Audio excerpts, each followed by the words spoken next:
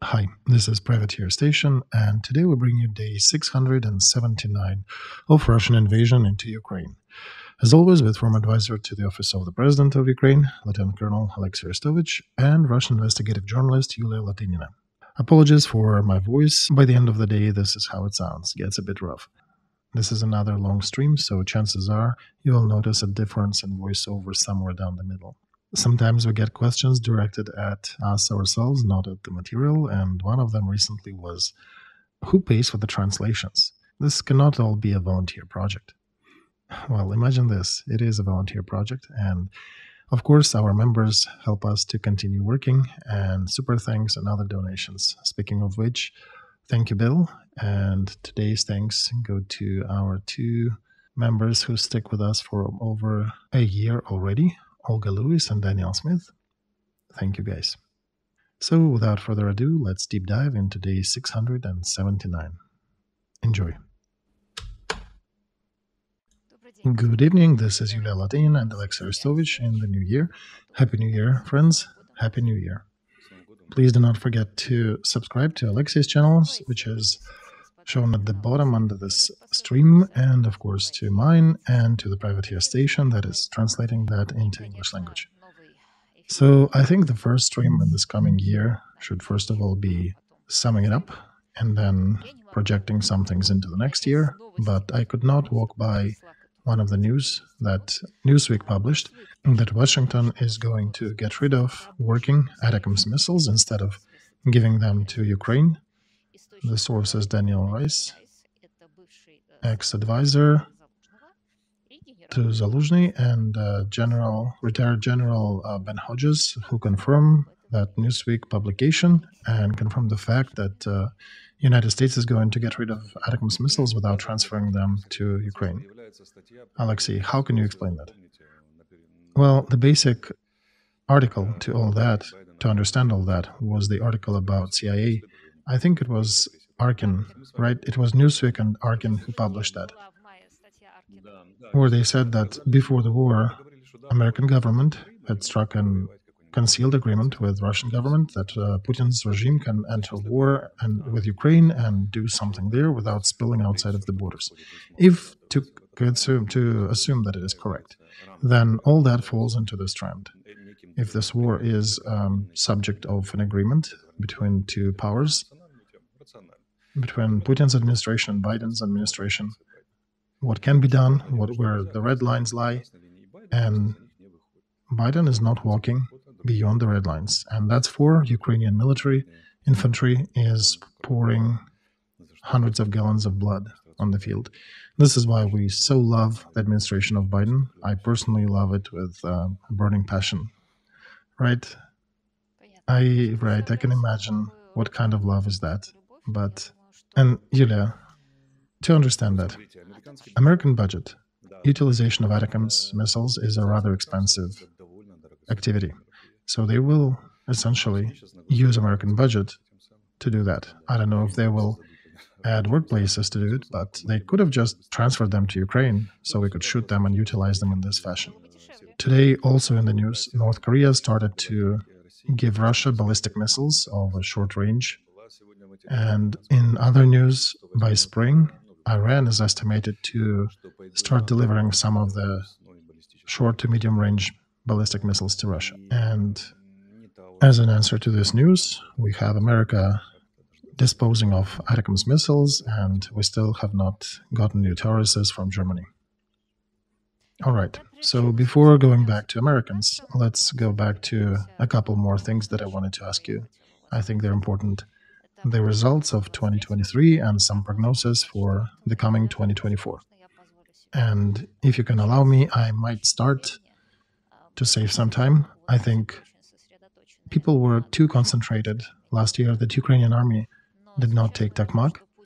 But now we see that Putin under Avdiivka had wasted almost all of his reserves. So does it mean that his plans for offensive during winter of 2024 are not realistic anymore and he cannot do anything and probably will not be able to do anything until his re-elections or reappointments in March. And after that, he might reconsider and do something else. And last year, there were two unsuccessful counteroffensive, one on Tokmak by Ukraine and one on Avdiivka by Putin. And the third, I think, important thing that if Putin was stopped near Kiev by American javelins, by Ukrainian military, of course, but they were armed with American javelins, then his plans to occupy South and Kharkov were disrupted by HIMARS. Again, Ukrainian military armed with HIMARS systems, but offensive near Avdiivka, even though we may consider that Ukraine used some of the South Korean 150 millimeter artillery shells to stop it, for the most part, it was still disrupted by Ukrainian drones. So, in defensive warfare, Ukraine is becoming more capable to defend itself. All right, Yulia, let's. Uh, I understood your idea. Let's play with it. I could also add here, Alexei, that if Zaluzhny indeed followed politicians and continued to push towards Tokmak, then he could have put himself in a similar position as Putin did near Avdiivka and just wasted extra resources. Well, okay. So we did try to make sure that our politicians would make decisions that are more adequate to the current situation. Now, speaking of what stopped Russian invasion, javelins and NLAW were vanishing number at that point. They were they helped, but they were not the main force stopping Russian invasion. Out of 10 NLAWs, so that you understand, only 4 to 6 would fire. And we actually had to set up a production of batteries for them because we were given them at the end of their shelf life at ninth year. So we were affixing special batteries to make sure they actually shoot. Then HIMARS during the Kharkov operation, no, they were not active there. They did not solve it. They were mostly ground troops solving it. And Avdiivka, it's again mostly not artillery shells, it's the blood of our troops and uh, knowledge of our tankers and everybody who were defending that perch. So one needs to understand that Russian army, when they entered Ukraine at the beginning of this war, they tried to fight by NATO standards, and they were thrown out of Ukraine and they were defeated by pure Ukrainian military methods. Military aid from the West at that point was very non-existent. There was thankfully we had some javelins and NLAWs, but they were minimal numbers. The first Ramstein happened on the 26th of April. First serious aid came at the end of June. And how serious they were, the first shipments came. They were still too little, but uh, at least that's when we started getting some supplies. And Kharkov operation occurred in September, even though we did not get enough aid by that time. Whatever we received, we couldn't even calculate. You know, it, it wasn't even fully fulfilled what we were asking for. We had maybe 10% of what we asked, and that was what was represented on the front. So mostly it was Ukrainian military. And it's only Russian propaganda that thinks that is actually fighting actively with NATO here, and they could not capture Ukraine only due to NATO. So we're still actually talking mostly about 152 millimeter caliber shells for the artillery. We do have some 155 NATO standard, but they are again not the driving force. It is not the all defining tool. Okay, I did want Alexei to outline the other part of what I said that Putin faced he's facing now a huge problem because he spent so much reserves near Avdiivka that doesn't allow him to realize his winter offensive. Okay, if we're taking a concept of two failed counteroffensives, then as both you and I discussed, and I can repeat it once again, that the most difficult part of military strategy and government politics is a transfer of political goals into military goals, and then transfer back from military goals to political. That is a really sore point for most countries. Even Clausewitz paid attention to that, even Sun Tzu, thousands of years ago, paid attention to that. Because military politicians, poorly military and politicians uh, do not quite understand each other well. Their understanding is rather poor. And whenever you actually create a proper transfer system, it includes people that can speak both languages, the language of military and the language of politicians, who can transfer and translate one from another. There were very few people who can do that. In the office of the president, there was just me who, did, who was doing it, who understands both politics and a bit in military, right? Just a little bit. So this is a very complex story, and conclusions from 2023 for both countries should include understanding that politicians need to be kept a bit further away from the front, that military have to have their say. Remember in the Game of Thrones when Varys is asking a question of Tyrion, if you watched it. He's my favorite author, by the way. Okay. So, yeah, it probably was in the book as well. But the question was about the priest, king, and merchant. And everybody offers gold to a soldier to kill two others. Right, Alexei. What is power? Varys is asking. The world is working very simply. The word rules the sword, the sword rules the gold, the gold rules everybody else. And that word, and that, however, ideology is silly, however simplified is it, this is the one that rules the sword.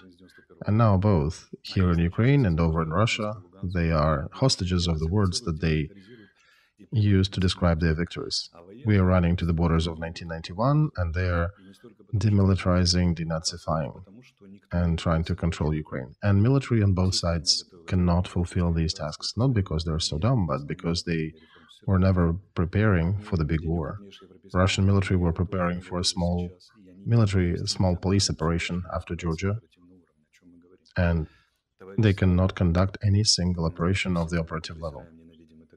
Comrade Stalin, however infernal figure he is, he was conducting three strategic offensives in one year, strategic level offensives, mother darling.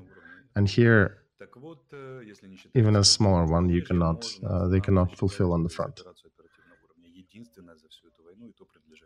We can probably count liberation of the right bank from occupants uh, as a big operative success, but that's about it. And yeah, we were also not preparing for any of that. We were preparing to go to war, to do democracy, elections, and all that. And now we find ourselves fighting the biggest war after the Second World War in Europe and the biggest uh, after Iran-Iraq war, right? And none of the sides is succeeding. So politicians need to realize the limitations of it because they're setting up those brave goals as if on both sides they had fronts with military well trained, well equipped, and everybody's getting new millions of shells, millions of people, but this is not so, and they cannot acknowledge that. And that means that Potsdam-Yalta system is not in the documents, in their heads. When we speak about the big war,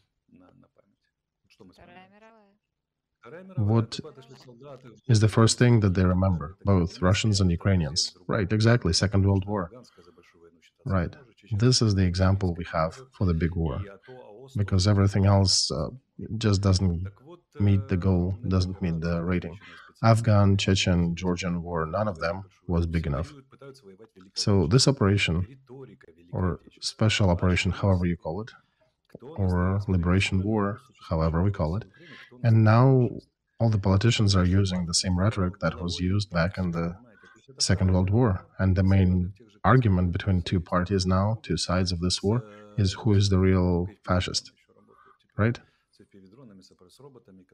Because it very much reminiscent of the Second World War, what's happening on the front, the, with the only difference of FPV drones and some radio interference. That's about it. All the rhetoric on the politicians is in the framework of Second World War. What do our politicians say? Complete capitulation, separation of Russia, borders of 1991. And on Russian side, they're basically picking this up and saying borders of 1991, right, let's just pick the earlier borders of the Soviet Union, so we'll go all the way to Lvov, to the west of Ukraine. And these are the politicians motivating military how to hold the sword. And our military need to make the right conclusions. And our military made, I think, the right one. Zaluzhny published an article in autumn saying this is what we can do from here to here. Anything beyond is unattainable. And if you want us to achieve that, you need to reconsider arming us differently. And I'm not sure if they even pushed any like that narrative in Russia, but the goals they have to capture Lugansk and Donetsk republics are completely unattainable for them in their current way, current level of equipment and resource. This war is rather funny from this angle, because both sides use very pathos rhetoric, and the real capabilities are to fight for four or six months for very small towns like Avdiivka, which during the Second World War were captured by dozens daily during big strategic operations.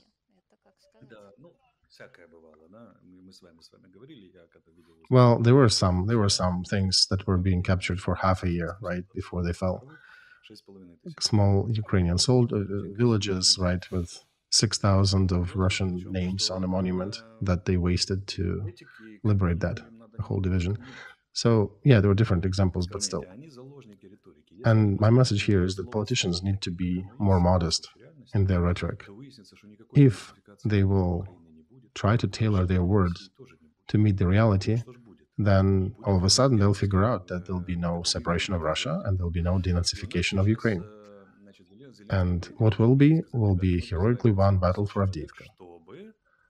And now Zelensky probably needs to go out and say, we conscribe half a million people to, and now let's listen to the word that he will say, right? To not give up Avdiivka. For example, to defend Chasiv Yar, and people start thinking, you think, well, the goal is good, but half a million, and Putin mobilizing his, what will he say? Will denazify everybody in Ukraine, in Avdiivka, to the street or to the northern street, because that's how they count their captures in Avdiivka by houses, right? So they can report about capturing the west side of Kanatnaya Street, and these are their Minister of Defense level reporting, right, of one of the biggest nuclear countries in the world, that they've taken Mariinka finally after you want to say probably 10 years of fighting since the first incident and two years of very intensive fighting. This is definitely an achievement. And right, I don't, I very sincerely doubt that Russian citizens want to conscribe to military and go fighting for any of that. So they are in a trap of their rhetoric, and the West is also in a trap because, on one hand, they are talking about democracy and values that they need to support, and on with the other hand, they are sending HIMARS missiles instead of Ukraine into a utilizer to dismantle and disassemble. This is a modern world for you, this is modern politics. So, do I understand it correct, Alexei, that both sides will be fighting in trenches? On one side will be half a million, the other side will have half a million for Avdiivka and Mariinka. Yeah, something like that will be happening, unless there'll be some black swans. And speaking of big breakthroughs, imagine we got 50 F-16s and we used them on a small part of the front. We bombed everything 15 kilometers wide and 10 kilometers deep. Okay, we have a pocket. And after that, yeah, pocket like near Tokmak. And then after that, it's infantry that will be resolving the situation because they'll be sitting in trenches, sending FPV drones on each other's heads, shooting their artillery as usual. Because we'll probably figure out that some bombs that would be supplied to F 16s were actually disassembled and dismantled and taken off service by our allies. By the way, in the comments I'm reading, people are very upset that before you've been telling that Ukraine will win, and now you're saying these pessimistic statements. So, in relation to that, I have a question. Why does the change of what person is saying about reality, not even conviction and philosophy or anything, but just description of reality as it changes. In the modern politicized world, the expectations that were put so high up on the Christmas tree by politicians, when situation changes and, for example, summer is gone and now it's winter, and politician is saying, well, we've been walking in flip-flops, now we need to put the warmer shoes on. And he gets a blowback from audience that, look, he's such a scumbag, he's changing what he is talking about. I think this is a very interesting moment that characterizes the mood of the society on both sides, actually, in Russia and in Ukraine. When I always thought that we have our brains to reflect reality, right? To help us understand reality. And apparently, for some people, they use their brains to defy reality. All right, Julia, if we are walking on that high philosophic level, I'll try to name the real cause of what's happening. There are two categories of people in the world.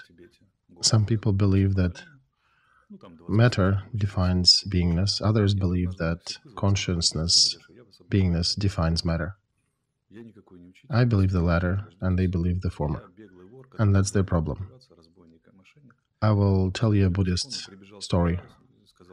In this regard, there was a monastery far away in the mountains. There were 20 disciples and a teacher living there. And one day he called upon them and said, You know, I deceived you. I'm not a teacher. You will not, never be enlightened. I'm just a thief who ran away from the powers, came here so far in the mountains, said that I'm a great teacher. Locals built a good monastery, and previous students helped me to build the monastery. And I'm sitting here, I cannot really go down for fear of being captured. And to you, I'm just telling all the things that somewhat sound deep, and you believe in it. There'll be no enlightenment. I don't believe in any of that that, I'm telling you. They started crying, they called him the last words, and left. One of them returned halfway through and came back to the monastery and said, You know, perhaps you're a thief and you're not a teacher, but I'm rather used to that. I like the environment. And here, he got enlightened. And everybody else were following other roads without any enlightenment. I like all these turns in my rhetoric because I am always curious to see who remains. Most people, they're not even mops for cleaning floors. They're like wet paper towel, wet toilet paper. Whenever you pull on them, they completely crumble. But I do notice that regardless of what's happening there in my surroundings, there are always a group of people who just say, no, disregard. We have our goals and we continue walking. Disregard everything else. And that's it. Okay, since we're talking about all these topics, I have another question. You said that one people will be fighting against the others in trenches. There'll be tens of thousands, hundreds of thousands dead. If Soviet Union wasn't collapsed, didn't collapse, could we even imagine that? Was it a good thing or a bad thing that Soviet Union disappeared off the political map? Yulia, I think this is a very big topic. And we can also say that it did not dissolve by itself. There was a decision to dismantle it by people in power who wanted to convert their power into property and to be not so responsible for that process. That's why the national borders were brought up up front and I want to say that most of communists actually voted for leaving Soviet Union here in Ukraine. So communists brought us independence, and Leonid Kuchma, ex-head of Central Ukrainian Communist Party Committee, who was always going in his life by the political line, and all his uh, biography is a testament to that. But uh, he and his were the ones who voted for separation. And I think these people made a big mistake at some point. They failed to understand that property without power costs nothing. This is speaking of the question, returning back to that who runs whom, because you can be a billionaire, but then there'll be Sergeant Petrenko who came over, put a lock on your company, and you're out of business. They tried to change power for property, and now they're understanding that life is more complex than that.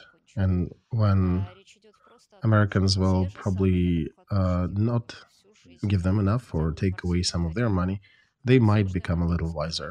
Maybe not. When you said it was dismantled in regards to Soviet Union, it is an important point here, and very often people use that to accuse CIA or some other foreign actors in dismantling that. But as you said, and I will follow on that, the same nomenclature of Soviet Union that were building their careers on the party lines inside, in a difficult moment, when instead of taking responsibility and blame for mistakes they made, they decided to go for converting their power to money. There was not so much a desire for democracy, but there was a there were local actors like local head of central committee of communist power who said, "Oh, okay, now I can have money." Remember the case of uh, and Ivanov about Uzbek mafia? For those who don't remember, the leadership of Communist Party in Uzbekistan had illegal plantations where they were harvesting cotton and other materials, and they were exploiting pioneers and com and Komsomol and other resources illegally. They were uh, brought into the justice system. My uncle, one of was the judge presiding over the case, and he was often thrown on the most difficult cases like chain of uh, stores Ocean, where there was a billion dollar worth of uh, thievery blooming, and um, he participated in all of these uh, difficult ones. So party mafia in all the republics was afraid, was scared for their lives after that case. Because who is a communist leader of the party in the republic? He is God, basically. He is vice God in this area. But then they got scared. Andropov scared them and everybody else who looked into the spot, and they decided to split in their national quarters. But Baltic countries, we have to mention, is a different story. Right, Baltic countries is a bit different. We're not talking about Latvia. But other national suburbs, right, what uh, was sung in the anthem of Soviet Union. The Union was joined by the great Russia, and the, the Union, the initial core was Russia, Belarus, and Ukraine. So that trifecta was holding the whole system. And when the Soviet Union was falling apart, if you noticed, there were no other leaders. There was no Uzbekistan, Kazakhstan leaders present uh, signing that uh, agreement. It was Belarus, Ukraine, and Russia. And remember the days when Bush and Margaret Thatcher came over and said to not leave the Soviet Union. They were thinking about something, right, before coming and visiting and trying to persuade republics to not fall apart from the USSR. And the communists were telling the President of the United States that they are eager to break Soviet Union apart, and President of the United States was saying that please do not do that. This is a short-sighted. So interesting story that many people have forgotten about. So going back to Putin's wish to try to revive that, or probably mostly just to annex Ukraine rather than that. And as we talked, that the disintegration of Soviet Union was not necessarily uh, one colored beautiful thing. It was a mixed gray event, and it was also not predetermined. So it is worth noting that Putin's attack on Ukraine was a consequence of him turning Russia into a scarecrow. Because what happened, happened, right? We're not for rebuilding Humpty Dumpty, but if Russia was a prosperous country with growing economy, it doesn't even have to be democratic. China is not democratic. Then there would not be, how should I put that? There would not be neither economic or any other reasoning to push too far apart because the same program of mono-national Ukraine, like Farion and her nationalists, uh, get maybe 5% in the parliament. There, there is Russia that is a big part of the West, not that it shares all the values, but in regards that it's economic partner of the West.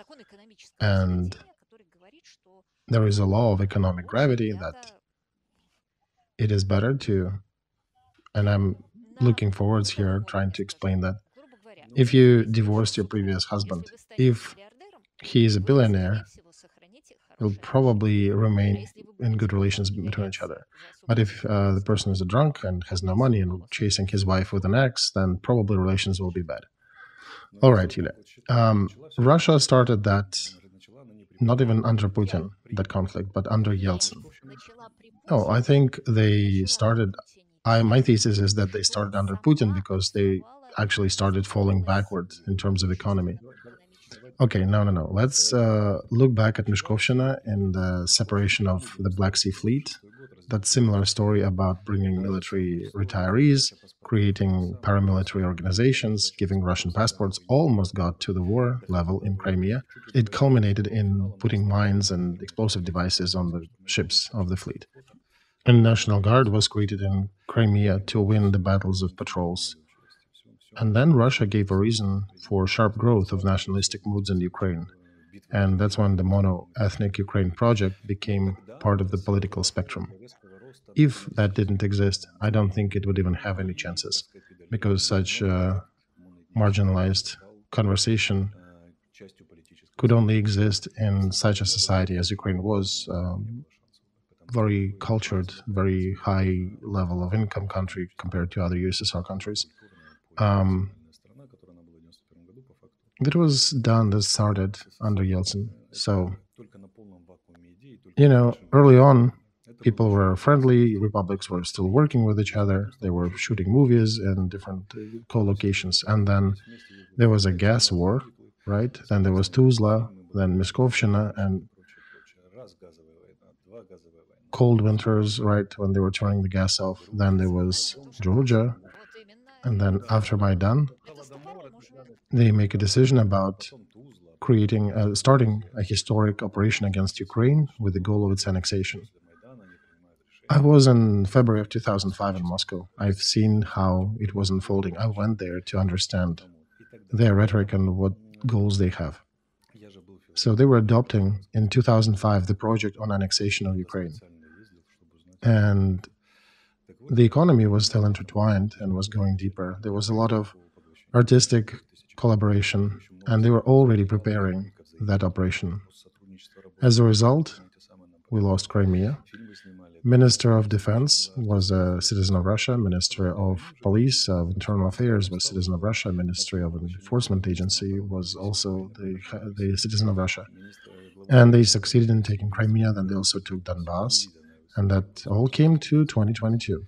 This is their side of the question. They were always aggressive. They always wanted, let's be blunt here, they always wanted evil for Ukraine. And of course, their economy was wavering back and forth. They were setting a big experiment of surviving without any major ideology during all the time. And let's take Ukrainian side. Our responsibility is also huge in this conflict. While we were strong, we won the Crimean conflict with Meshkovshchina. We won that over the Black Sea fleet. We also won Tuzla issue because Kuchma, the army that he was holding there in that area, was much stronger than what Russia could bring. And Russia was also tied in with Chechen war, so that was the only reason why Putin backed off. But then during Yushchenko, the main nationalist, the main ideologist of moving Ukraine towards NATO, and our glorious Ministry of uh, Defense, whatever his name was during his times, under him, we wasted and sold and drained down the toilet a lot of our military capacity.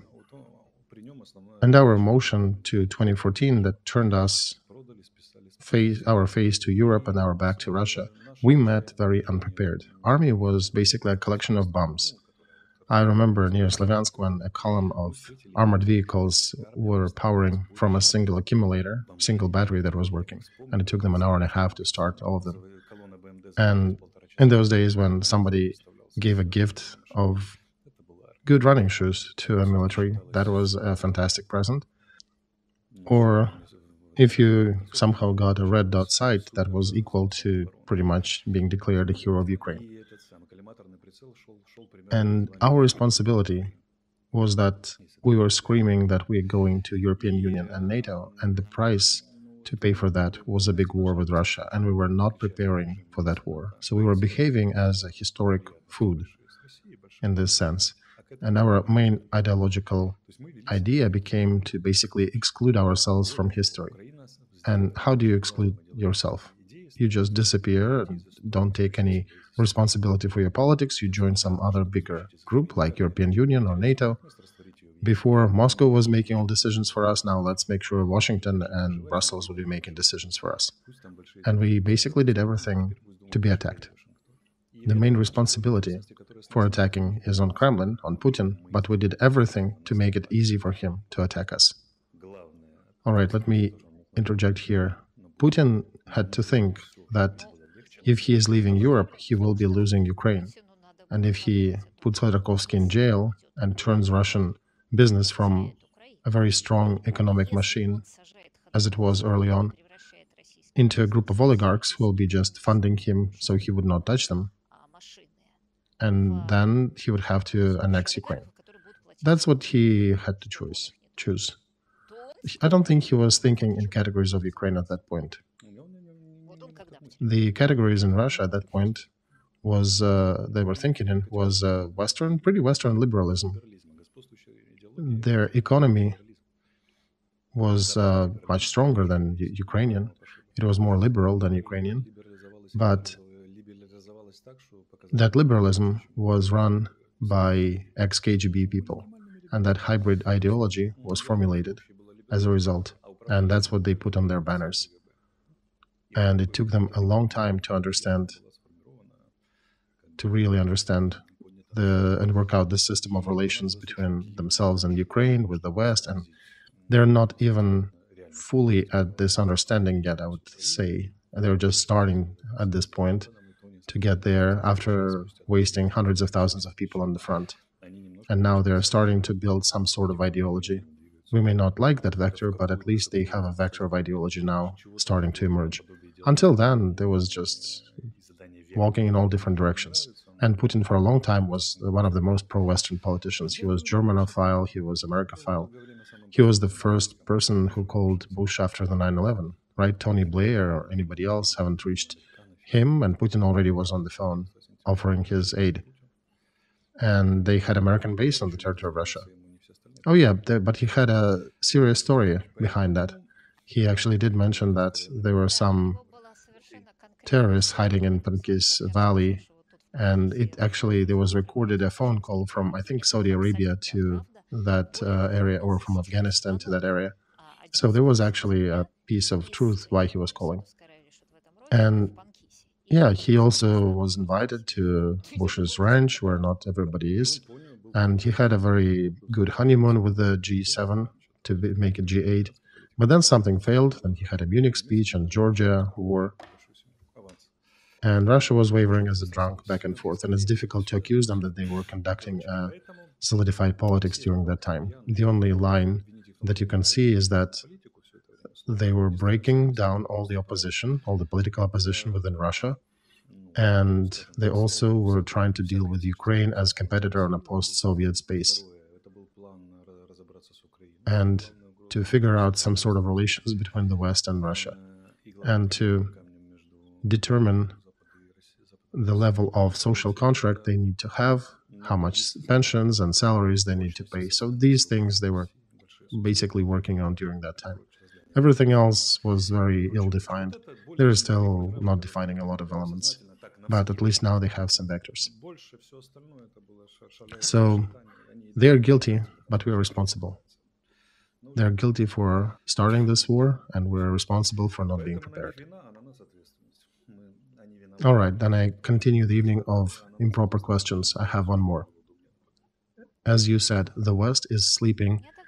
It's in uh, dementia stage or not even waking up to that war. I have a question in this regard. 1772, Catherine the Great brings her troops into Poland, and here Prussia and Austro-Hungary start to aid Poles, basically giving them all kind of munitions, the old times HIMARS and three axis or whatever the cannons were called back then.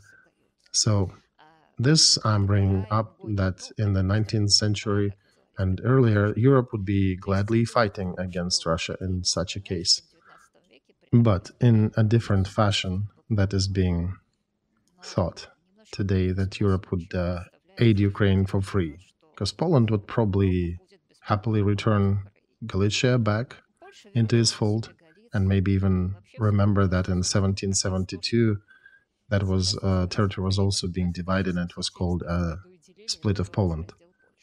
Well, hey, we have a different example too, a Crimean War.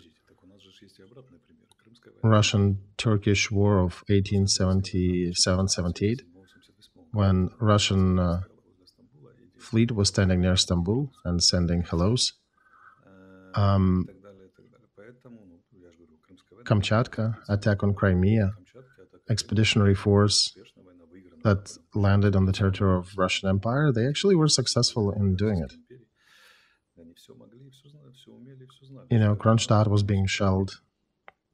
during those after the revolution times. So the West is asleep not because they haven't formed four international brigades with F 16s and they're not fighting for us, but because they don't know what they want from themselves, primarily.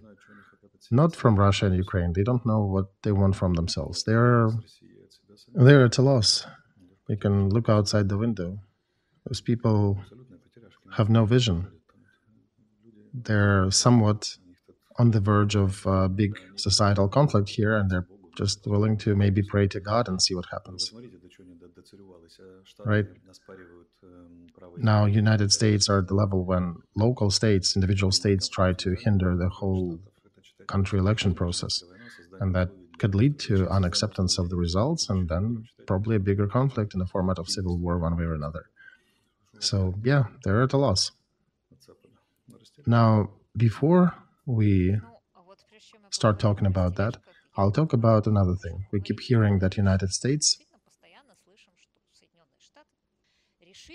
United States are so dumb that Biden is asleep. They haven't figured out their fantastic chance of helping Ukraine and getting Ukraine on board.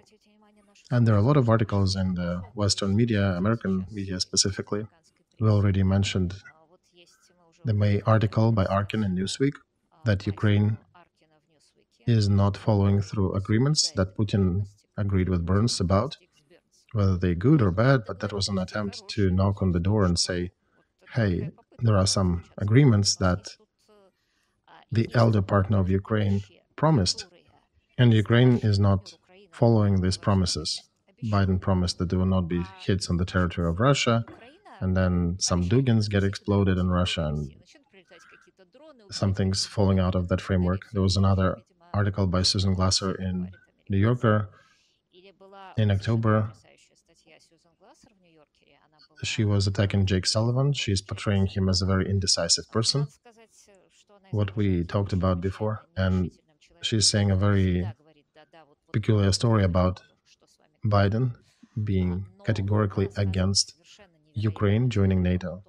And he communicated that to Zelensky on many occasions that he went to Kiev to offer Zelensky an alternative, an alternative relation similar to what the United States has with Israel. And then Biden and Sullivan, despite of all that and incon incongruous level of partnership, they still went along on the Vilnius summit. And then that communication between them, after which Sullivan was uh, turned red, and Zelensky tweeted the statement that pissed everybody off. So all these articles, they're knocking on the same door. Guys, hello. You are completely dependent upon us over there in Ukraine, and you're not a team player. You want United States to be your magical partner and aid, but it's not how it works. United States always have its own interests. Well, no, it exists, right? Because we demonstrate that it actually sometimes work differently. Ukraine is uh, a country without a peculiar vector or specific vector, but we have enough stubbornness to not listen even to the United States in the key matters. And this is a weird push-pull relations when we're being told, hey, you're not doing this. And then we're saying, well, yeah, but we needed that, and we just go and do it. So, of course, they're upset. And they don't give us ATACMS as a result, but they still give us some tanks, some Abrams, and this is a weird relations, and that's how it evolves. But I think our main mistake is a vector mistake. The fact that we cannot determine what do we want. We, and frankly speaking here, I don't know why should we knocking on the door with our head to the organization that doesn't want to accept us there's nothing but putting yourself lower by doing that action. And that's a rhetoric question. Imagine I'm going to visit you and Dasha as a, a, guest, but you're telling me, no, we're good friends, but stay away, don't don't knock on the door. And then I'm insisting I'm publishing tweets uh, and creating some social unrest and other things to push and to make sure that hey, I do want you to receive me. Right? Why? So I'm trying to understand, Alexei, what is going on. And it feels like a big part of this war is public relations. And on one hand, President Zelensky, with the aid of that PR stunt, acquired more weapons than the West was ever going to give Ukraine. So that definitely is a strong part on his side. And he turned that war into the war of light and darkness and brought it pretty high up. On one hand, PR is good when it inspires. On the other hand, it's bad when it defies reality.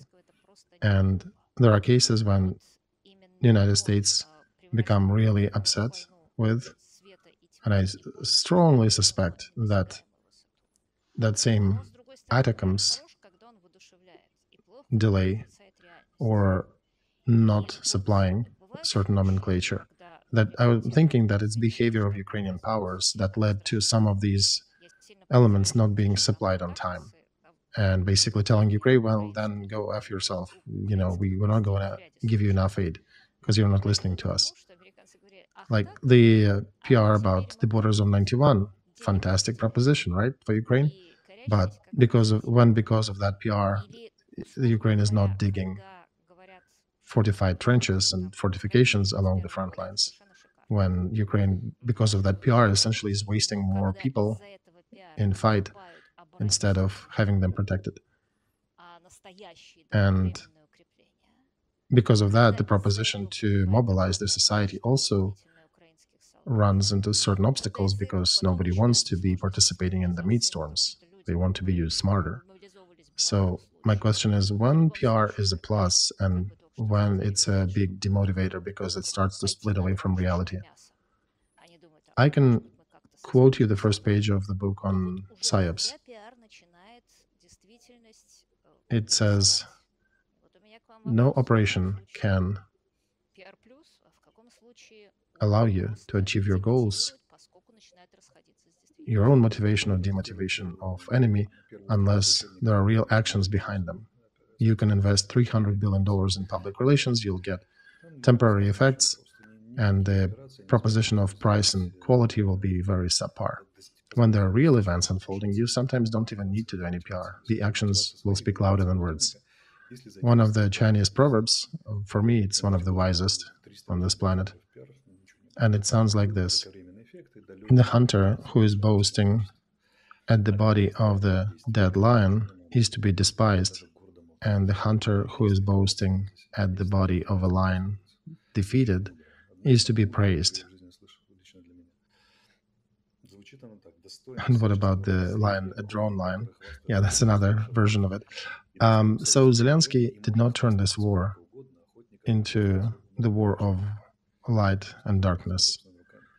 He managed to use the symbolic capital acquired by the whole people of Ukraine. He was the focal point of that capital, and he successfully converted that into the aid from the West. That was a good work. And it worked till about the liberation of Kherson, 11th uh, of November 22. After that, everything changed, and we needed to change our strategy. And I remember debates on this topic in the office.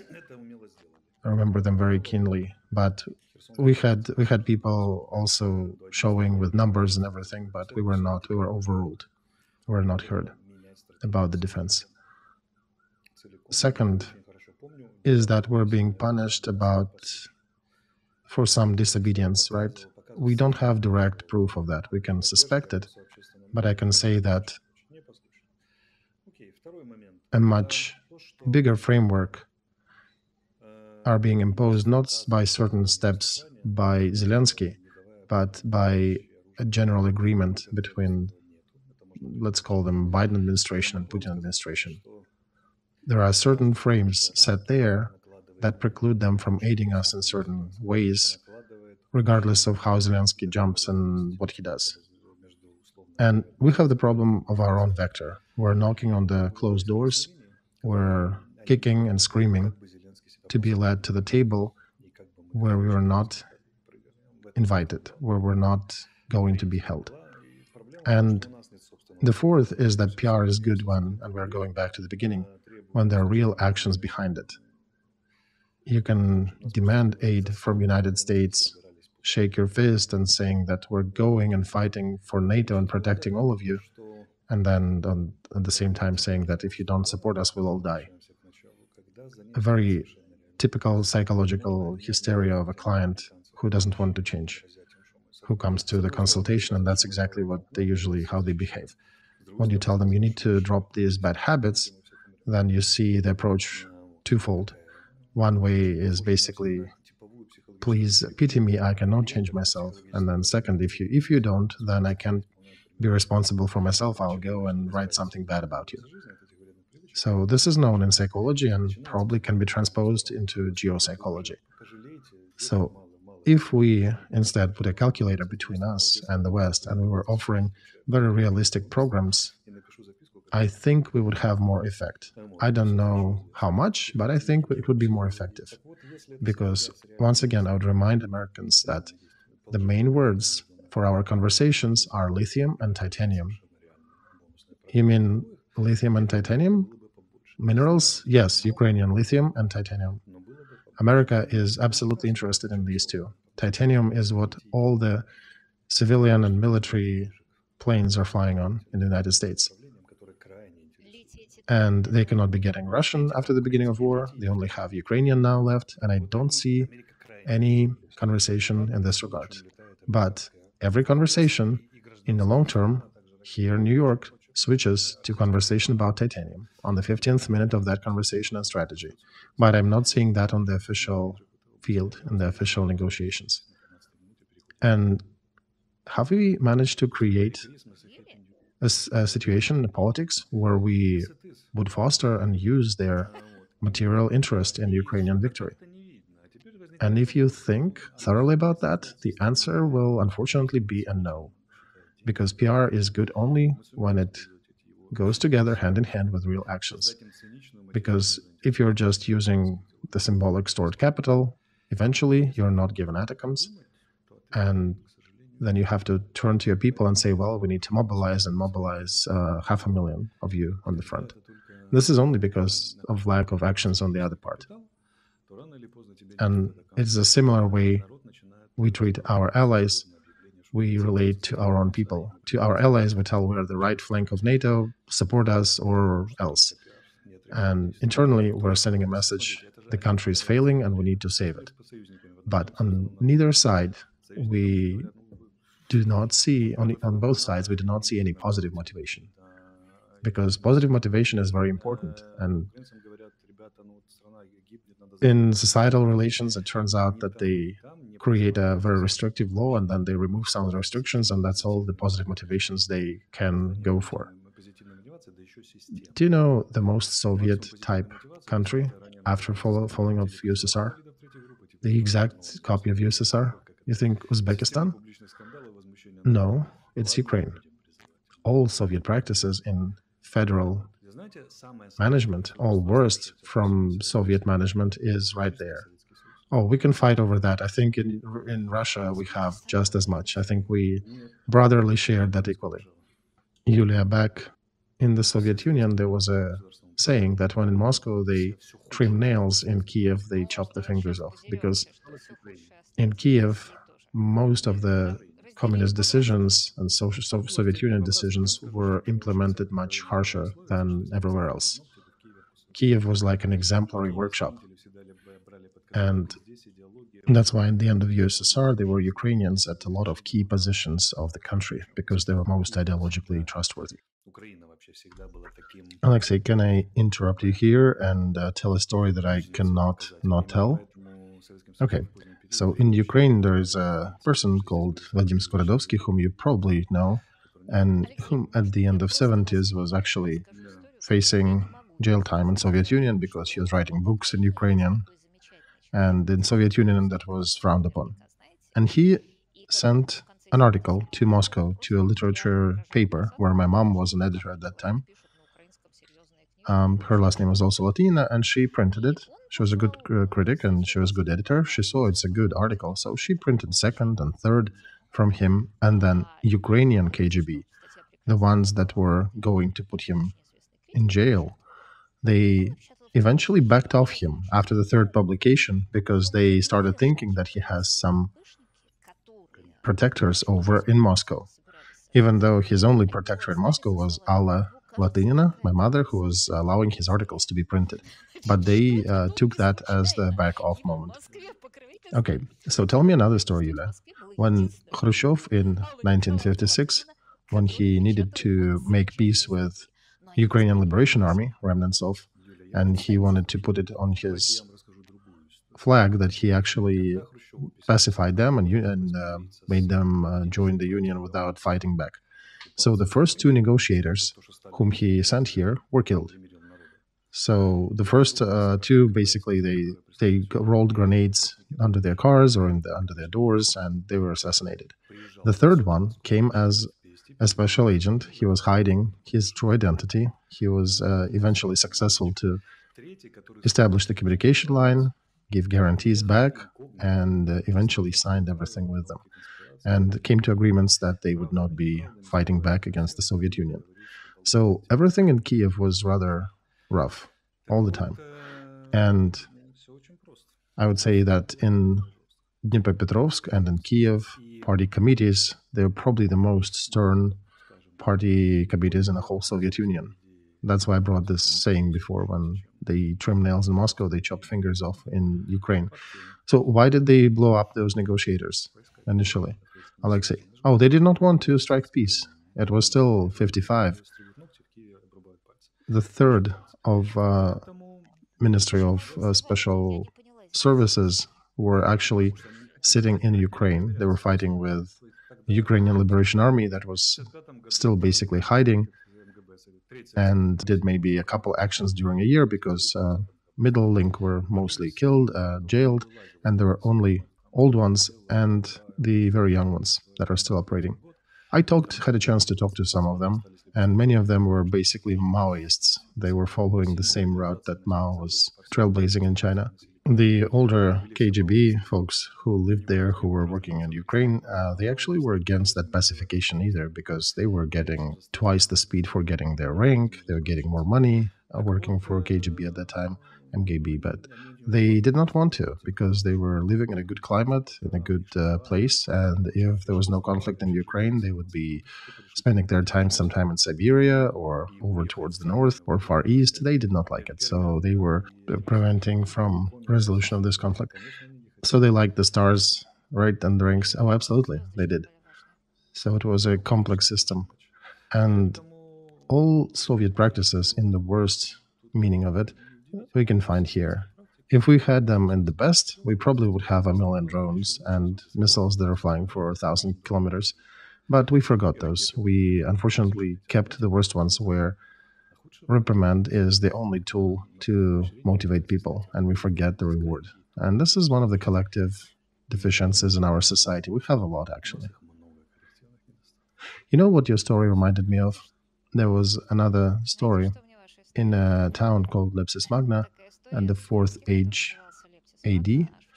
So these bureaucrats that were running the town, they missed the invasion of uh, barbarians that were invading from that side, and because they were stealing money, and they sent a letter, the citizens of the town, to Valentinian, the emperor of Roman Empire, to fix uh, things. So they sent a letter saying, "Hey, the, the barbarians robbed us, and the bureaucrats didn't do anything." So he sends the inspections, and inspectors got in, intercepted by the bureaucrats, which tell them that there was there were no barbarians, and it's a completely invented story. So the town folks who wrote the initial appeal were executed, and what it ended with is that the city was eventually ransacked and overrun by the barbarians. Oh, you know, there is another fantastic story, Yulia, right, about uh, Pontius Pilate, how that decision about execution was made. Oh, Alexei, let's not go there. I have a whole book about how and why was he crucified. And it would be surprising to learn that some of the reasons were very similar to what were voiced uh, for assassination of bin Laden. But we also heard after that uh, same thing about peaceful Islam that we hear now about peaceful Christianity back in the Roman Empire. I have um, another question closer to modern times. When you started talking about the worst Soviet practices, doesn't it seem to you, and I have a um, nagging thought, that besides a very obvious goal of holding Putin, if they even hold this as a goal, they have a secondary goal to hold Ukraine because Ukraine, with these habits and the size that it is, being helped by the West, and Ukraine is saying, yes, we're going towards Europe. It's very understandable desire because Putin, on the other hand, is going to medieval times and some Stone Ages. But we just mentioned Roman Empire, and you know how Germans came to Roman Empire and said, "We want to serve Roman Empire. Just let us serve and give us a little bit of land to settle." So very many people from Ukraine want to go join Europe, and Europe starts, I think, more and more soberly really understand its capabilities, and it figured out how to bring some countries before, but they have concerns about their ability to intake Ukraine. And for Ukraine, this is an obvious result of war, but for the West, it's uh, a different goal, I think. They would rather keep the status quo. Well, Yulia, first, I don't see their goal to hold Putin really. I also do not quite think that he is taking his country to Middle Ages. He is leading it to some very conservative project, but not exactly medieval. By the way, speaking of medieval times in Grozny times in Russia, a villager had supposedly more rights than a citizen of the United States these days because he would not be even given to the Tsar court without agreement of at least two different levels below that below Tsar because uh, he had certain protection from Tsar interfering. He had some autonomy uh, internally, locally, with the place where he lived. So I'm just saying that medieval ages are not exactly as uh, bad as Putin is uh, being drawn out to be. Um, now, all these talking talk about going to European Union, all the nods that yes will take you these are some payments for that symbolic capital that we, with a symbolic coin that we acquired by being essentially the shield from Putin's aggression. And lately, there's more conversation finally showing up that even Poland and Germany saying that if we do not stop Putin in Ukraine, we might have to face that conflict physically ourselves. And I frankly, though, do not think Putin will really go with the actual hot conflict towards Europe he'll probably use the same Orban scheme and establish uh, special relations, right, with money. Those, uh, yeah, who are listening at the word of special relations, Alexei indicated money with his fingers. So I would say nothing indicates that we are going to be accepted to European Union and NATO, besides very small nods and makes sense that uh, we maybe will be there. And Ukraine is going towards NATO is not because it is promised a place there, but because it has certain illusions which disallow it to make more realistic conclusions. And the bad is not our urge to join Europe. The bad is that we do not understand the current situation and we still dream. Because let's take European yes, let's take European agriculture market. If we come there with our agriculture, we will have they will have serious issues because we probably will change the whole pricing structure and everything there. What do you hear from Poland, our immediate neighbor? If we take Ukraine into European Union, we will freeze their ability to sell their agriculture goods in EU for 20 years, right? So they have serious concerns. And it's much easier for European countries to pump out white Europeans with good education, good skills, good religious and ethics, um, instead of bringing the whole country. And it's much easier for them to cherry pick the ones they like from the ones that can come all when we come all together. And the problem is that we're not acknowledging that in Ukraine because any leader who will say that, he basically will bring a very sore point up to society that was building the system of mythology in the modern Ukraine. Look, the formula of Ukraine's joining NATO and EU is a big war with Russia. it also has a, the other side. Acceptance of Ukraine into European Union and NATO also means a big war potentially for Europe with Russia. And now ask yourself, are they ready to fight a big war with Russia to allow Ukraine be part of them? And the answer you'll find is probably they are not ready to even fight with the hands of Ukraine because we can see how many ATACMS, for example, are being destroyed and dismantled without even being transferred to Ukraine, right? They're not even ready to pay us for the big war with Russia to help us fully. And they're much less ready to pay with their own lives, their soldiers, their territories, to have Ukraine part of them. So we just, in my mind, need to understand that and do accordingly. For example, South Korea, Israel, and Azerbaijan are not members of NATO and the EU, and they're doing all right. We, however, have that goal of joining, and we built that unrealistic vector as a backbone of our government politics. So why are we surprised that the results of our politics are rather illusory? It is a colossal mistake in my view, and I'm looking at my compatriots, and I know all of them, these politicians. I know them in person. I know most of Ukrainian experts personally. I know all these discussions, and I look at these kind people and think, are they dumb? just not smart, or the tape in their head is still playing one song and they cannot change it, which is also a sign of not being too bright. Because EU and NATO, EU and NATO, EU and NATO is the main motive out there. And they don't even bring a very basic analysis into the framework. So, how our motion towards NATO plays with the fact that Americans are going to utilize to destroy and dismantle the HIMARS systems instead of sending them here. Alexei, I'll find you an answer. You are a Moscow agent spreading Moscow narrative, and just two days from tomorrow, Americans will change their mind and give everything. Right, exactly, Yulia. And uh, the only thing is that they they're still giving us tanks for over a year and a half. While tank, you know, is a much uh, more modest weapon. It cannot reach targets on the territory of Russia, thousand miles away.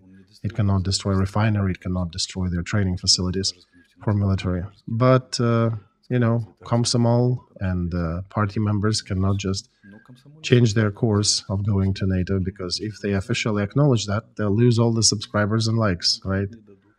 Alexei, this is like going to God's heaven, right? God's kingdom. Yeah, exactly. And we're walking towards that. We're trying to march there and they're very similar in this regard. There are some Americans here who believe America is that America is the shining city on the hill, and fortunately, we have people in our politics who believe America is the shining city on the hill. And the fact that it keeps dumping on us as the possible ally and partner, that just, you know, minutia that needs to be disregarded. And if we pretend to be smart people who can understand consequences and the concept of that,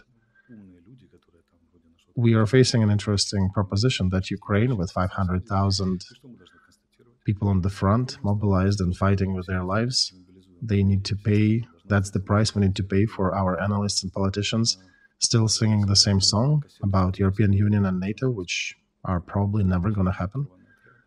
You know, that reminds me when they were driving in Moscow with American flags and uh, pro Trump slogans saying, hey, we elected Trump, until they realized a bit later that he's not doing anything for Moscow. So, the same thing here. We are pretending to be marching to EU. We're actually very excited about that, but we're not looking into analysis why and how, and is there any progress in that and there are two shining cities on the hill for Ukrainian, European Union, and NATO.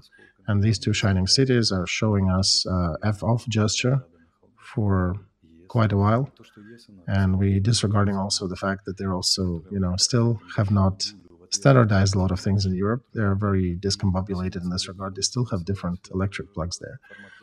And I think it's to the level of insanity because there is neurosis, psychosis, and madness, and we are somewhere there, madness and insanity.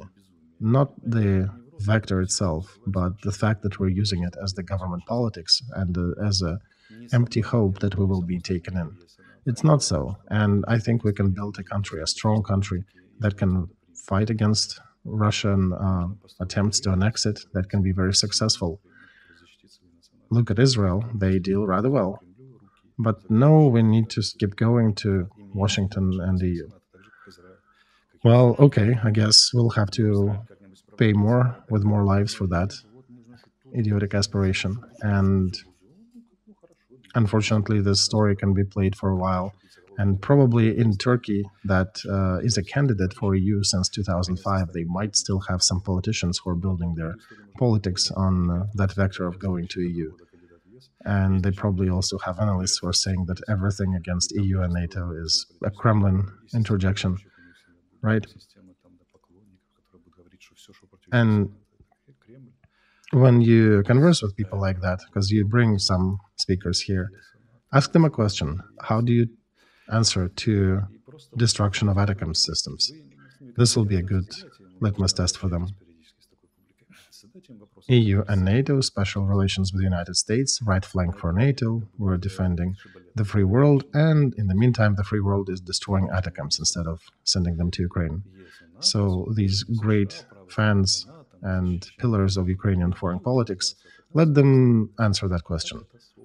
I would say that I have not seen more lost and not understanding what's happening worse than Ukrainian leadership, than Ukrainian bureaucrats.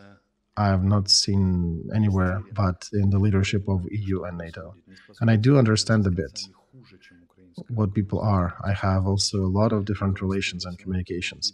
But in 2023, the most lost, the most lost all orientation, facing big problems, are the ones who are the expert society of EU, NATO, and some of the United States. And I sincerely almost want to hug them, you know, and so I could keep their tears on my shoulder and then pat their heads and start doing a psychotherapy session. Because people in the organization where you really want so much, they're, you know, like in America, they're making movies about the Civil War. Um, Yulia, all that 2023 and that story in my mind shows us that even adults can behave like a little toddler in a supermarket who's throwing a hysteria in a store looking at the candy, and the wrapper has NATO and EU written all over it, and they can make it a basis for their public rhetoric, public politics, and the country vector. So for me, Ukraine will awake and will become the subject on the international political field and would say, we are building our own Ukraine. We don't care about these organizations. We're not going to be part of that. We are building our own interests in our own country. That's when I think we'll grow up. Just like South Korea, just like Azerbaijan. You know, I had just a very provocative thought visit my mind, uh, but I need to ask you, I need to think it over a little bit, and I want to ask you a few more questions. We're over an hour. We can transfer that to the next week, or we can still discuss some. Yeah, I can talk for another 15 minutes if you like. Okay. Then I would say the following. When you said that NATO is not an option on the horizon, and President Zelensky was told that by Biden several times, that was one of the main demands that Putin threw at Ukraine and Istanbul agreements, together with uh, limiting Ukrainian military force. So, what do you think? Should you have signed those Istanbul agreements? If so, why was not it signed? Yulia, I think it was not realistic to sign that.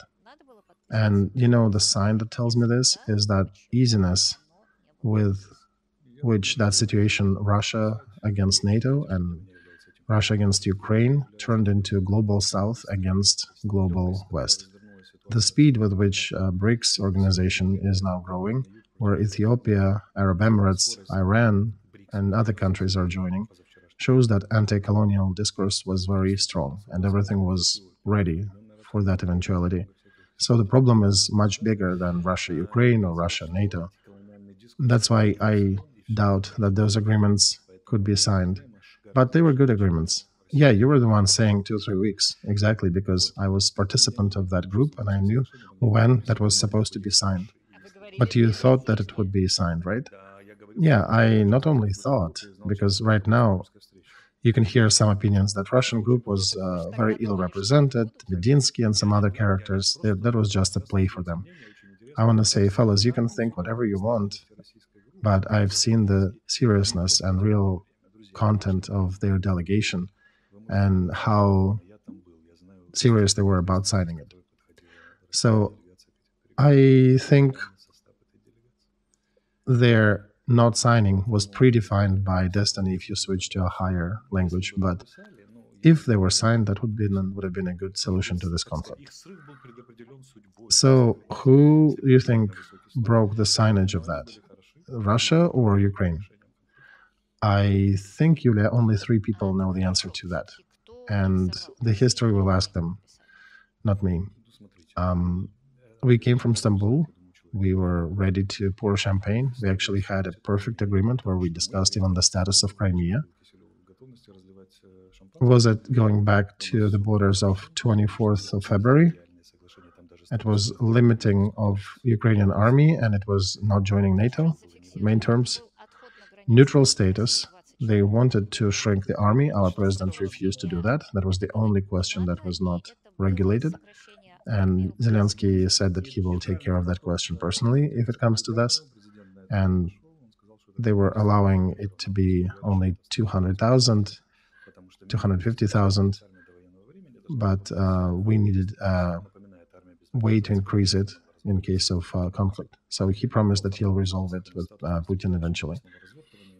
And I think it was the end of March when we were planning to sign that. Um, and Zelensky and Putin negotiations were maybe planned for a few months after. So, and we discussed the status of Crimea with them, and they were ready to discuss it, really discuss it. They, I think, we wrote it as 10 to 15 years for slow process. But uh, the strength of that agreement was that we were closing Minsk 1 and Minsk 2 agreements. We were jumping out of the trap of those two. And Ukrainian military and Ukrainian people earned that right. That was a very good proposal. And in essence, we were going at that moment on the scenario of Chinese Vietnam War in the 70s of the last century, where they fought for six weeks and then they froze this war because it's not it was not going as planned. And unfortunately, it was not in the stars to sign that. And I don't think it was just because someone was stubborn in the Ukrainian delegation. I think the sum of conflicts was much bigger than what we were addressing, because otherwise we would not see BRICS increasing so rapidly, and we would not see such a global speed of beefing up South versus collective West. That basically is indicating that Putin's um, direction and attempt to capitalize on this angle was very proper, and he saw these things already unfolding. Now, it doesn't say that this agreement would not have been beneficial, right? But I'm talking now about the vector. The vector of our politics is false, and there is nothing pro Moscow. South Korea is not pro Moscow. Azerbaijan is not pro Moscow. Israel is not pro Israel, pro Moscow. They're pro Israel. And we need to be likewise pro Ukrainian. And EU and NATO, I don't think they'll ever take us as a member. I don't know what needs to happen to them in order for them to accept us, because the price that they will have to be ready for, to be ready to pay, is uh, a big war with Russia, and they will never go for that. They cannot even answer for the missile that fell in Poland. They cannot provide any rough response to Russia for that. It's easier for them to negotiate, to trade off, to surrender and so on. So that's my opinion. All right. And sorry that I'm going back again to Istanbul agreements once again, because on one hand, before and during Istanbul, at that moment, Russian army was seen as weak, and if Ukraine would be given enough arms, they were seen as capable of returning their territories back.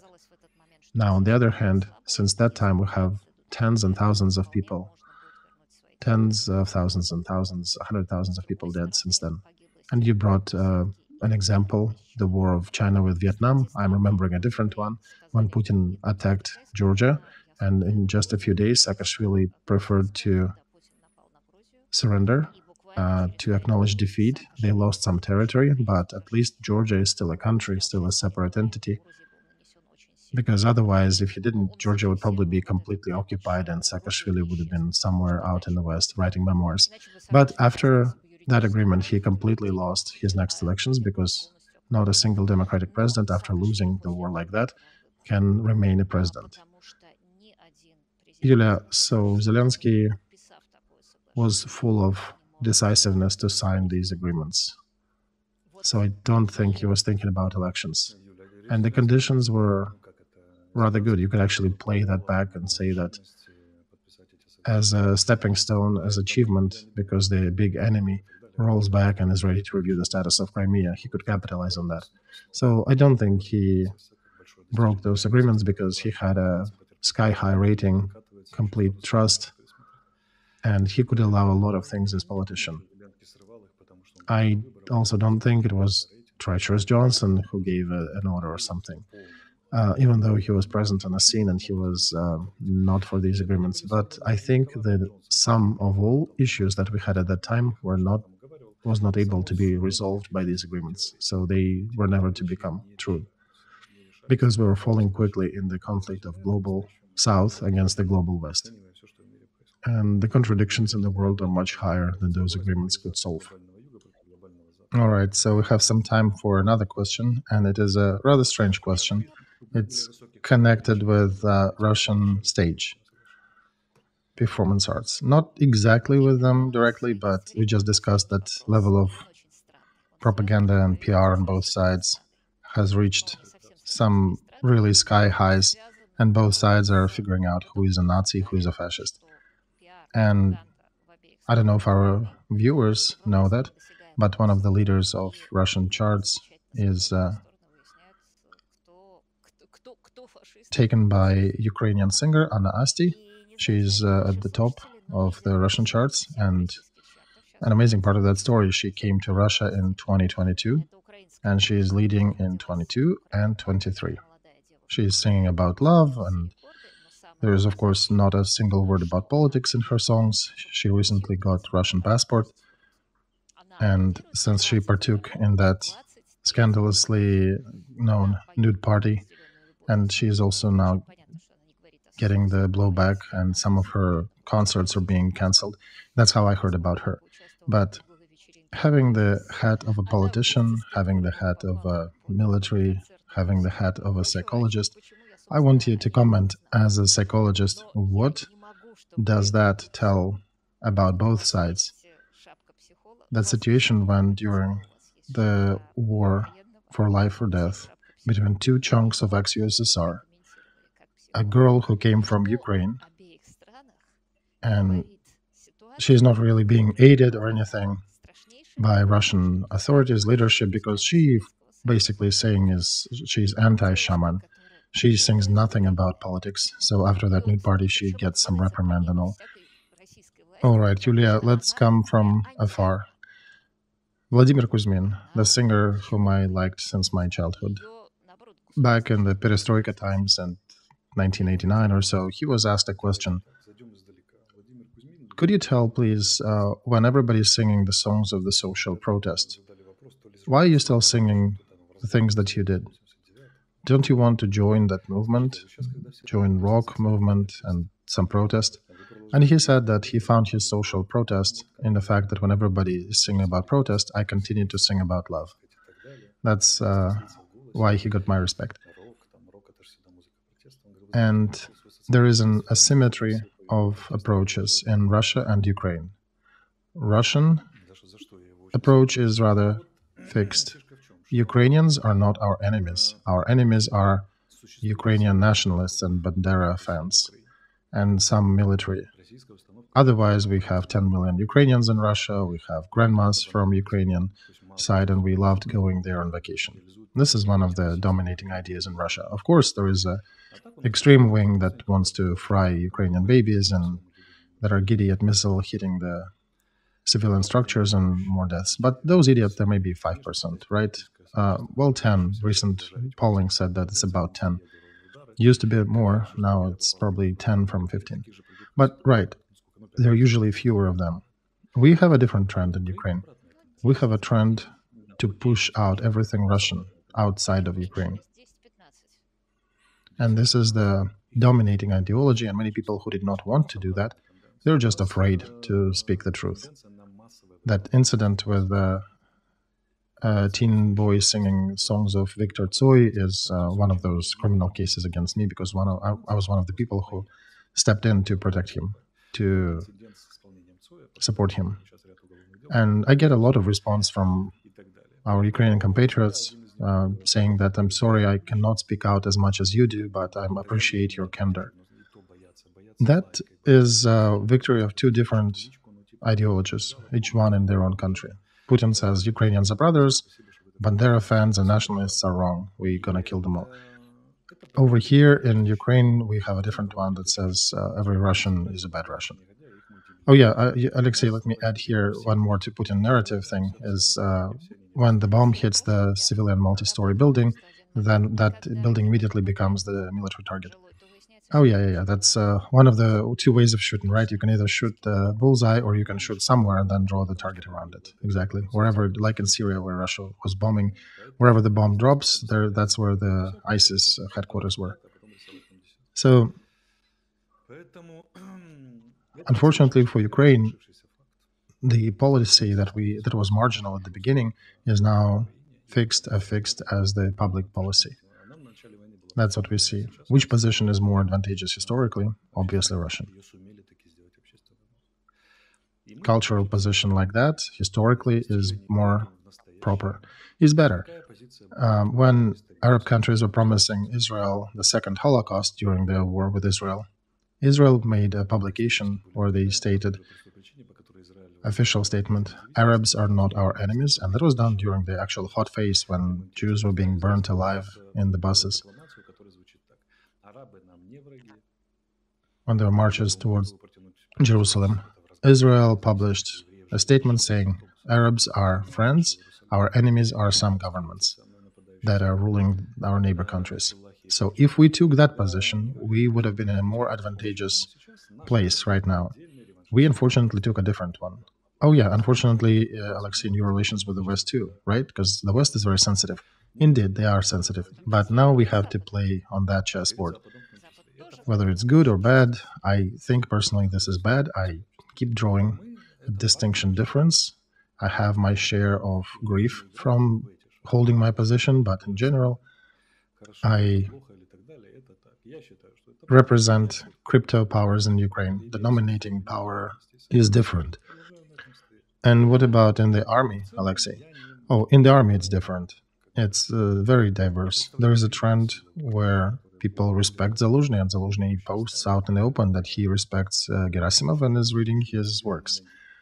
Right? Nobody attacks him that he's a Moscow file or a Moscow spy. Now imagine if I came out and said that I respect Gerasimov and I'm reading his papers. What headlines would you see in Telegram channels in 15 minutes and tomorrow in press? Zaluzhny can't do that. He can do that. He can read the enemy works everybody is different. There are different officers, different upbringing, and there is not a single unified trend in the army. And look, our soldiers they try to take prisoners, right? They they yell at the Russian soldiers in the trench, "Come out, hands up, you'll stay alive." Our soldiers provide first aid, water, and help them get out. So the army fighting in the trenches, in mud, in blood, they understand the rules, the rules of the game they're the the war game they're playing, right? And there are of course some excesses when when somebody gets shot, but generally military treat each other. At least our side is trying to treat them with respect. Sometimes the interrogations are rough. That also happens at war, but overall, the treatment is rather humane as much as it can be under the circumstance. And what about from the Russian side, Alexei? From the Russian side, this was different. In general, they do treat us much worse than we do.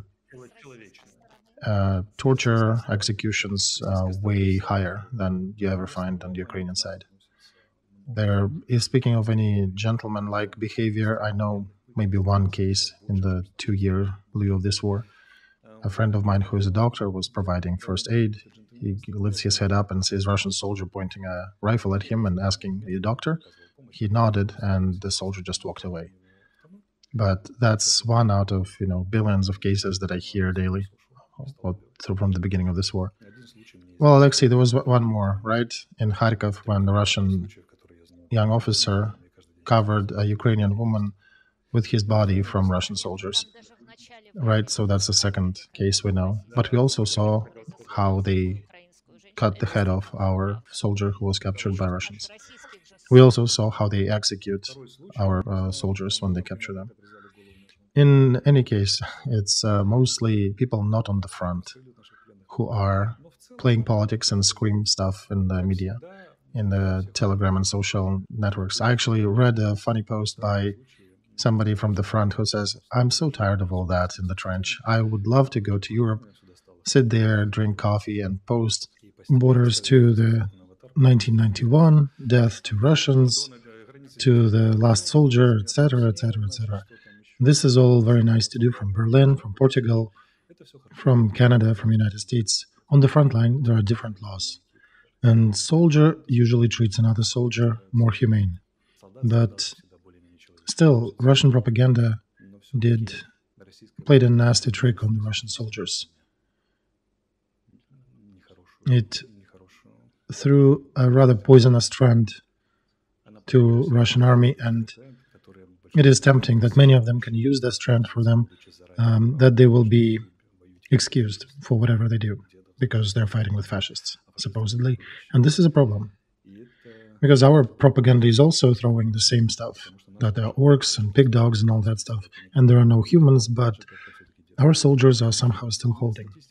I I think it appears that we definitely statistically are more often humane than not. And military, if you go higher up the command chain than generals, they treat it differently. They nod when there is professionalism and they giggle when there is none. It's more like a professional sportsman, professional boxer. But still, Zaluzhny allows himself to make statements that any other in Ukraine would be eaten alive for well, right, Alexei, because he is Zaluzhny. He said we need mobilization in Ukraine, right? So, yeah, we can fixate the trend. And the trend is that overall vector of Russian propaganda is slightly corrected. They're saying a bit less that they're fighting with fascists.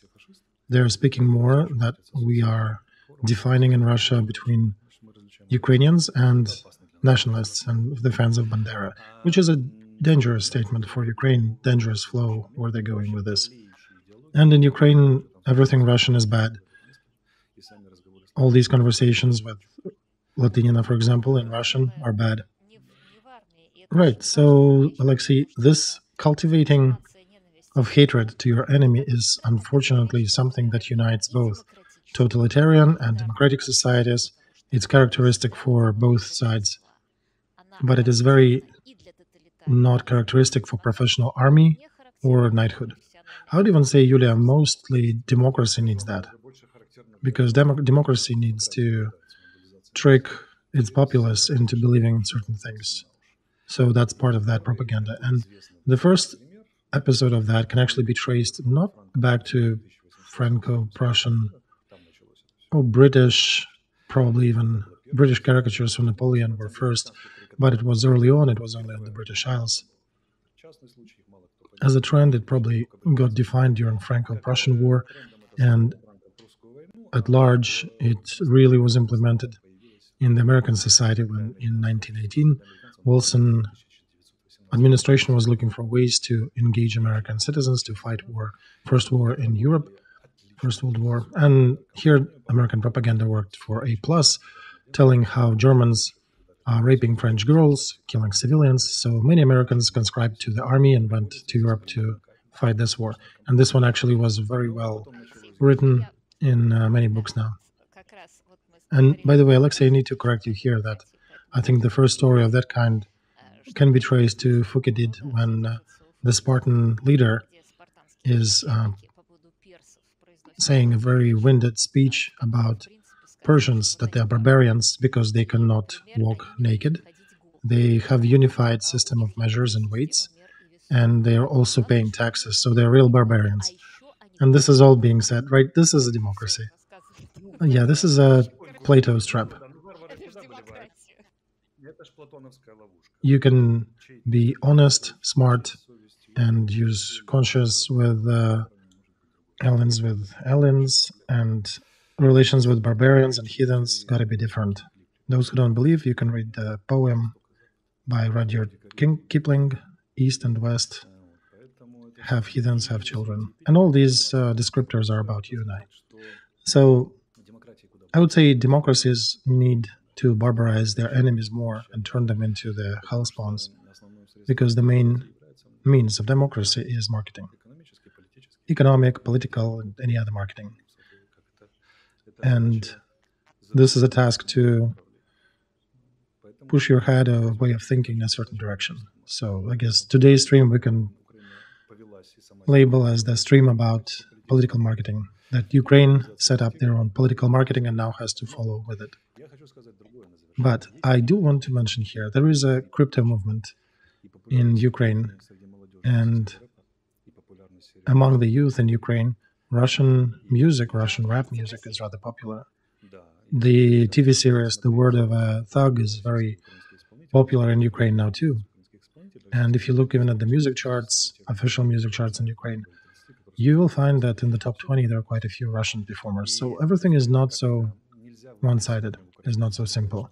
Yes, one cannot come out in public in Ukraine and say, yes, I love listening to Russian music, because you'll probably face societal attacks and uh, societal executions, not those by enforcement agencies and all, but uh, especially by those who just turned, who started learning Ukrainian language.